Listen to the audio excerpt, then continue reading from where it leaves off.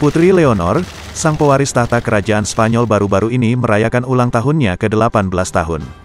Di saat bersamaan, dirinya juga melakukan sumpah resmi di parlemen Spanyol untuk menegakkan konstitusi. Dengan usia dan sumpah yang diambilnya, Putri Leonor secara hukum dapat menggantikan ayahnya, Raja Philip ke-6, sebagai Raja Spanyol. Artinya, ia juga bisa menggantikan berbagai tugas kerajaan saat ayahnya berhalangan hadir. Usai membacakan sumpah tersebut, Putri Leonor meminta warganya untuk memberikan kepercayaan atas tugas baru yang diemban oleh sang putri. Nantinya, diprediksi Putri Leonor akan semakin sering tampil di hadapan publik lewat berbagai tugas kerajaan.